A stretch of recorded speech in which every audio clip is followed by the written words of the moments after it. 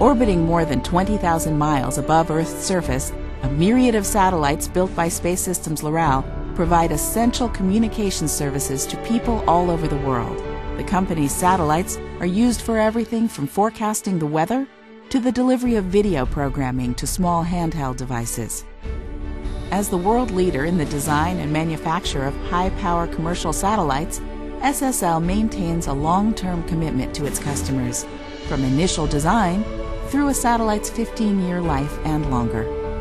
The experts at SSL have a passion for helping both new and established satellite operators build spacecraft with the flexibility to meet evolving market requirements. They take a strategic approach, bringing many years of experience and a deep understanding of how satellite based infrastructure can help companies meet their business objectives.